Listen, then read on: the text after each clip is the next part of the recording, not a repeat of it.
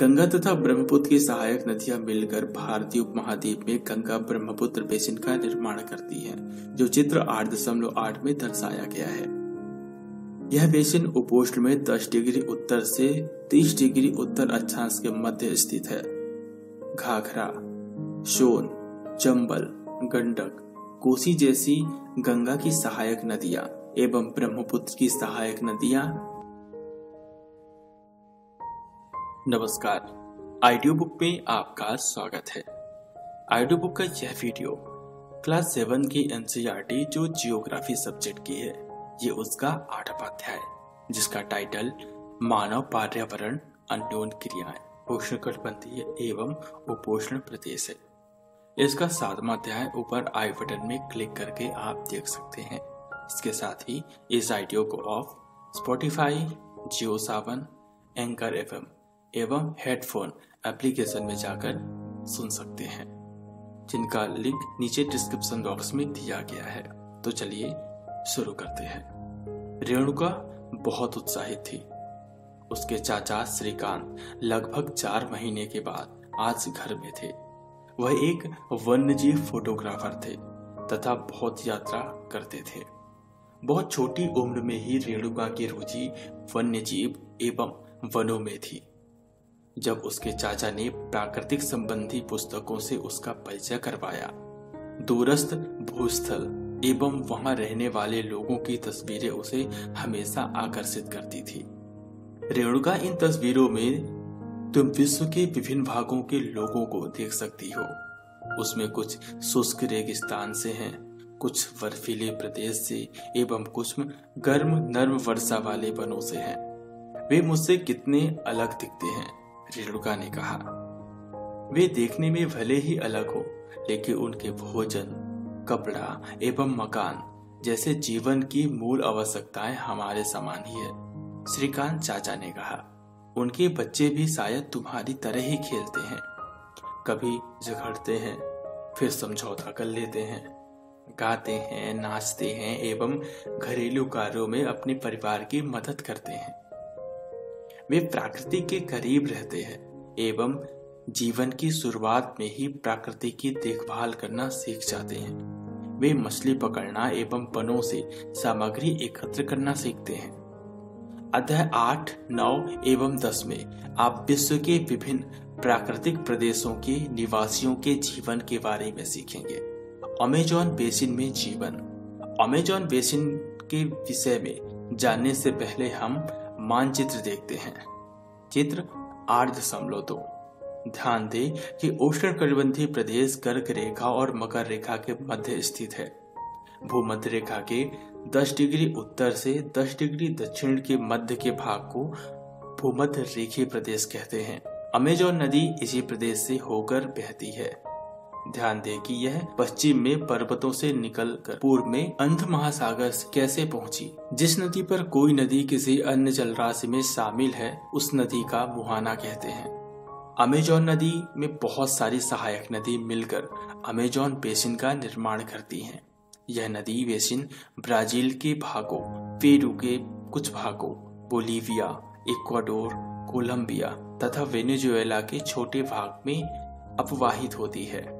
क्या आप इस बेसिन में स्थित उन देशों के नाम बता सकते हैं जिनमें भूमध्य रेखा गुजरती है? क्या आप जानते हैं?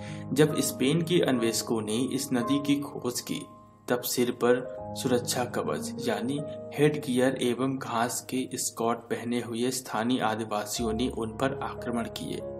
इन आक्रमणकारियों ने उन्हें प्राचीन रोमन साम्राज्य के अमेजोन नामक महिला, योद्धा के आक्रमक समूह की याद दिला दी।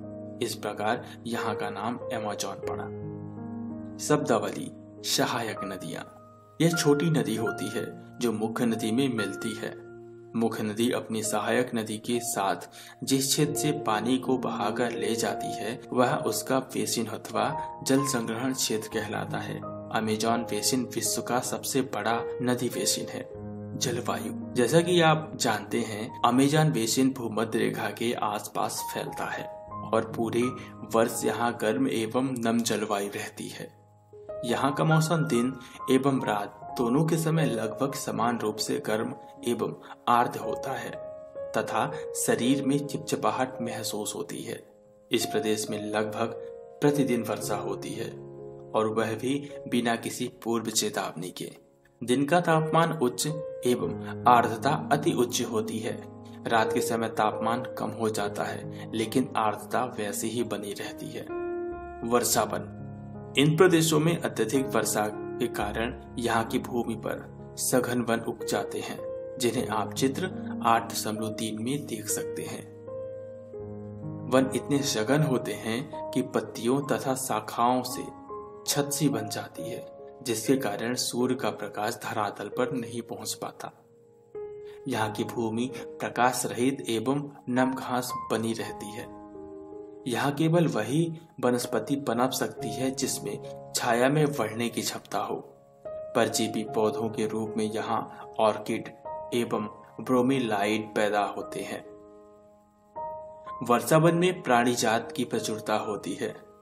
टूकन गुंजन पंछी, रंगीन पंछी वाले एवं भोजन के लिए बड़ी चोंच वाले विभिन्न प्रकार के पक्षी जो भारत में पाए जाने वाले समान पक्षियों से भिन्न होते हैं, यहाँ पाए जाते हैं। प्राणियों में बंदर, स्थल एवं चीटी खाने वाले टैपीर भी यहाँ पाए जाते हैं। सांप एवं शरीर सृप की विभिन्न प्रजातियाँ भी इन वनों में पाई जाती हैं। मगर सांप, अजगर तथा एनाकोंडा एवं बोआ कुछ ऐसी ही प्रजातियाँ हैं, जिनके अतिरिक्त हज़ारों कीड़े मकोड़े भी इस बेसिन में निवास करते हैं। मांस खाने वाले पिरान्या, मत्स्य समेत मछलियों की विभिन्न प्रजाति भी अमेजोन नदी में पाई जाती है। इस प्रकार जीवों की विविधता की दृष्टि से यह बेसिन असाधारण रूप से समृद्ध है। क्या आप जानते हैं ब्रोमिलाइट एक विशेष प्रकार का पौधा है, जो अपनी पत्तियों में जल को संचित रखता है। मेढक जैसे प्राणी इन जल के पॉकेट का उपयोग अंडा देने के लिए करते हैं। वर्षा वन के निवासी, यहाँ के लोग छोटे से क्षेत्र में वन के कुछ वृक्षों को काटकर अपने भोजन के लिए फ़सल उगाते हैं। यहाँ के पुरुष शिकार करते हैं तथा नदी में मछली पकड़ते हैं, जबकि महिलाएँ फ़सल पर ध्यान देती हैं।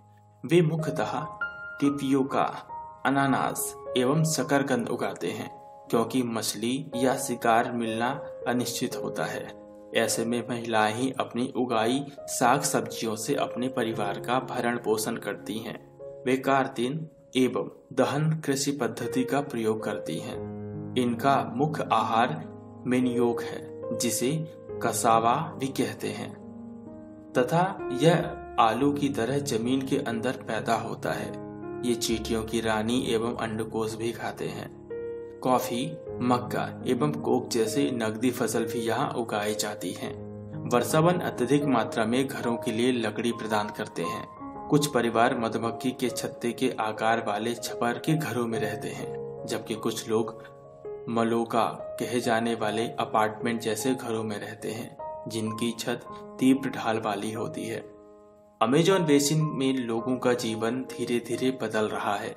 पुराने समय में बाहर से अंदर पहुँचने के लिए नदी मार्ग की एकमात्र उपाय था। 1970 में ट्रांस अमेजोन महामार्ग बनाने से वर्षा बन के सभी भागों तक पहुँचना संभव हो गया। अनेक स्थानों पर पहुँचने के लिए हवाई जहाज़ तथा हेलीकॉप्टर का उपयोग किया जाता है। इस प्रक्रिया के परिणाम स्वरूप वहाँ की मूल आबादी को उस क्षेत्र से बाहर निकालकर नए क्षेत्र में फंसाना पड़ा, जहाँ वे पौराणिक तरीके से खेती करते हैं। कि आप जानते हैं कार्दन एवं दहन की पद्धति में किसान पहले वृक्षों एवं झाड़ियों को काटकर भूमि साफ़ करते हैं। फिर इनको जलाया जाता है, जिससे पोषक तत्व मिट्टी में मिल जाते हैं। इस साफ़ भूमि पर कुछ वर्षों तक फ़सल पैदा की जाती है। ज़मीन के इस टुकड़े के बार बार प्रयोग से मिट्टी में पोषक तत्व का अभाव हो जाता है, इसलिए इस टुकड़े को छोड़ दिया जाता है। इसके बाद फ़सल उगाने के लिए किसी दूसरे स्थान को साफ़ किया जाता है। इस बीच पुराने खेत में छोटे छोटे वृक्ष उगाते हैं। इस प्रकार मिट्टी पुनः उपजाऊ बन जाती है। तब लोग इस भूमि के टुकड़े को पुनः जोत जाते हैं। विकास की गतिविधियों के कारण जैविक विविधता वाले वर्षा वन धीरे धीरे नष्ट हो रहे हैं। ऐसा अनुमान है कि प्रतिवर्ष अमेजॉन बेसिन के वर्षा वन का बड़ा भाग लुप्त होता जा रहा है। आप देख सकते हैं कि वर्षा वनों की लुप्त होने की व्यापक प्रभाव होता है। आप इसे चित्र आठ दशमलव छह में देख सकते हैं। वर्षा के कारण मिट्टी की ऊपरी परत बह जाती है एवं सघन बंजर भूमि में बदल जाती है। गंगा ब्रह्मपुत्र बेसिन में जीवन। गंगा तथा ब्रह्मपुत्र की सहायक नदियाँ मिलकर भारतीय उपमहाद्वीप में गंगा ब्रह्मपुत्र बेसिन का निर्माण करती हैं, जो चित्र आठ दशमलव आठ में दर्शाया गया है। यह बेसिन उपोष्ण में 10 डिग्री उत्तर से 30 डिग्री उत्तर अक्षांश के मध्य स्थित है। घाघरा सोन चंबल गंडक कोसी जैसी गंगा की सहायक नदियाँ एवं ब्रह्मपुत्र की सहायक नदियाँ इसमें अपवाहित होती हैं। एटलस की सहायता से ब्रह्मपुत्र की कुछ सहायक नदियों के नाम ढूंढिए। गंगा एवं ब्रह्मपुत्र के मैदान, पर्वत एवं हिमालय के गिरिपात तथा सुंदरवन डेल्टा, इस बेसिन की मुख्य विशेषताएँ हैं। आपको स्क्रीन पे भारत का एक मैप दिख रहा होगा, जो गंगा एवं ब्रह्मपुत्र बेसिन को दर्शाता है। स्क्रीन को पॉज करके आप इसे ज़रूर देखिए। मैदानी क्षेत्र में अनेक चाप झील पाई जाती हैं। यहाँ की जलवायु मुख्यतः मानसूनी है। मानसून में मध्य जून से मध्य सितंबर के बीच वर्षा होती है। ग्रीष्म ऋतु में गर्मी एवं शीत ऋतु में ठंडी होती है। भारत का मानचित्र देखिए। उन राज्यों के नाम बताइए जहाँ गंगा ब्रह्मपुत्र बेसिन स्थित है। बेसिन क्षेत्र में विभिन्न प्रकार की स्थलाकृति जनसंख्या के वितरण में पर्यावरण की प्रमुख भूमिका होती है। तीव्र ढाल वाली पर्वतीय क्षेत्र बसने के लिए प्रतिकूल हैं। अतः गंगा ब्रह्मपुत्र बेसिन के पर्वतीय क्षेत्र में कम लोग रहते हैं। मानव प्रवास के लिए मैदानी क्षेत्र सबसे उपयुक्त है। अतः यहाँ जनसंख्या घनत्व अधिक है। यहाँ की मिट्टी उपजाऊ है। जिन स्थानों पर फ़सल उगाने के लिए समतल भूमि उपलब्ध है, वहाँ के लोगों का मुख्य व्यवसाय कृषि है। धान यहाँ की मुख्य फ़सल है, जो चित्र आठ दशमलव नौ में दर्शाई गई है। शब्दावली, जनसंख्या घनत्व का अर्थ है एक वर्ग किलोमीटर क्षेत्र में रहने वाले लोगों की संख्या। उदाहरण के लिए, उत्तराखंड का जनसंख्या घनत्व एक नवासी है, जबकि पश्चिम बंगाल का एक हज़ार उनतालीस तथा बिहार का ग्यारह सौ दो। जिन स्थानों पर फ़सल उगाने के लिए समतल भूमि उपलब्ध है, वहाँ के लोगों का मुख्य व्यवसाय कृषि है। धान यहाँ की मुख्य फ़सल है, चूँकि धान की खेती के लिए पर्याप्त जल की आवश्यकता होती है। यह उसी क्षेत्र में उगाया जा सकता है जहाँ अत्यधिक बारिश होती है। यहाँ उगाई जाने वाली अन्य फ़सलें गेहूँ, मक्का, ज्वार, चना एवं बाजरा है। गन्ना एवं जूट जैसी नकदी फ़सलें भी उगाई जाती हैं। मैदान के कुछ क्षेत्र में केले के बाग भी देखे जाते हैं। पश्चिम बंगाल एवं असम में चाय के बागान मिलते हैं, जो चित्र आठ दशमलव दस में दर्शाए गए हैं। बिहार एवं असम के कुछ भागों में सिल्क के कपड़ों का संवर्धन कर सिल्क का उत्पादन किया जाता है। मंद ढाल वाले पर्वतों एवं पहाड़ियों पर वेदिकाओं में फ़सलें उगाई जाती हैं। विभिन्न भू आकृतियों के अनुसार वनस्पति में भी भिन्नता पाई जाती है।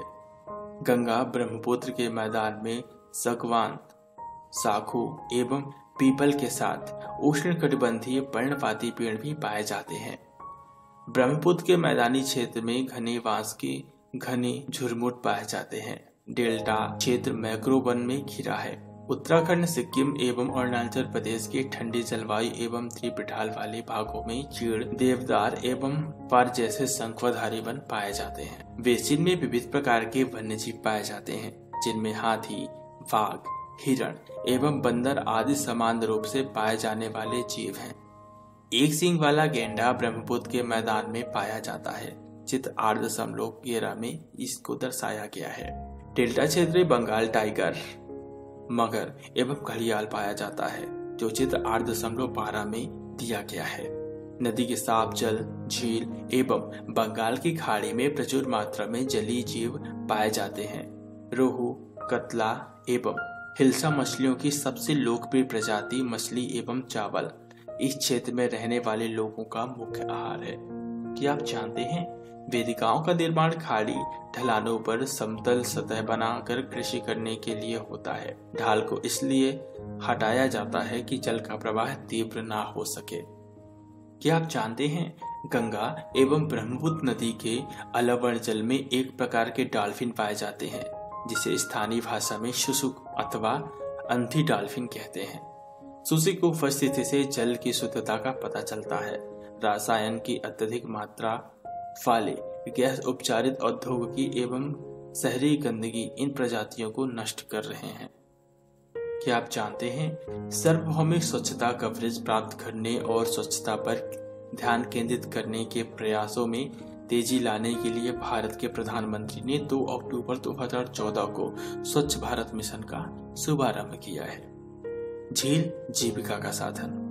एक केस अध्ययन, यानी एक केस स्टडी है। चलिए इसे पढ़ते हैं। विनोद एक मछुआरा है, जो बिहार के मतवाली मौन गाँव में रहता है। आज वह एक प्रसन्न व्यक्ति है। मछलियों की विभिन्न प्रजातियों को पालने के लिए उसने अपने साथी मछुआरों रविंद्र, किशोर, राजीव तथा अन्य के साथ मौन या चाप झील को साफ़ किया। झील में उगने वाले स्थानीय खरपतवार, वेलिनेरियार और हाइड्रिला मछलियों का भोजन बनाते हैं। झील के आसपास की भूमि उपजाऊ है। वह इस ज़मीन पर धान, मक्का एवं दलहन जैसी फ़सल बोता है। खेत की जुताई के लिए भैंसे का उपयोग किया जाता है। वहाँ के लोग बहुत संतुष्ट हैं। नदी में पकड़ने खाने व बेचने के लिए काफ़ी मछलियाँ हैं, जिन्हें पकड़कर वे पास के शहर में बेचते हैं। यह समुदाय प्रकृति के साथ समरसता बनाकर रहता है। जब तक पास के शहरों का प्रदूषण इस झील तक नहीं पहुँचता, तब तक मत्स्य पालन को कोई खतरा नहीं है। गंगा ब्रह्मपुत्र के मैदान में कई बड़े शहर एवं कस्बे स्थित हैं। इलाहाबाद, कानपुर, वाराणसी, लखनऊ पटना एवं कोलकाता जैसे 10 लाख से अधिक आबादी वाले शहर गंगा नदी के तट पर स्थित है, जिन्हें आप चित्र आठ दशमलव तेरह में देख सकते हैं। इन शहरों तथा यहाँ स्थित उद्योगों का गंदा पानी बहकर नदी में ही जाता है, जिससे नदी प्रदूषित होती है। क्या आप जानते हैं, गंगा नदी के संरक्षण के लिए नमामि गंगे कार्यक्रम शुरू किया गया है? बेसिन में यातायात का सुविकसित तंत्र उपस्थित है। आप देख सकते हैं कि गंगा ब्रह्मपुत्र बेसिन में यातायात के चार मार्ग सुविकसित है। मैदानी इलाकों के लिए सड़क मार्ग एवं रेल मार्ग द्वारा एक स्थान से दूसरे स्थान तक जाते हैं। नदी के तटीय क्षेत्र में जल मार्ग यातायात का प्रभावशाली माध्यम है। कोलकाता हुगली नदी पर स्थित एक महत्वपूर्ण पंतन है। मैदानी क्षेत्र में कई बड़े हवाई पंतन भी स्थित हैं। पर्यटन एवं बेसिन की एक महत्वपूर्ण क्रिया आगरा में यमुना के किनारे स्थित ताजमहल, इलाहाबाद में गंगा एवं यमुना का संगम, उत्तर प्रदेश एवं बिहार में बौद्ध स्तूप, लखनऊ का इमामबाड़ा, असम का काजीरंगा एवं मानस वन्य प्राणी अभयवन तथा अरुणाचल प्रदेश की विशिष्ट जनजाति संस्कृति जैसे कई दार्शनिक स्थल हैं। आप इन्हें चित्र आठ दशमलव चार में देख सकते हैं। इसके साथ ही हमारा यह अध्याय खत्म होता है। यह अध्याय पढ़ने के बाद नीचे दिए गए क्वेश्चंस को आप आंसर करिए और हमें कमेंट करके बताइए कि आपको कैसा लगा।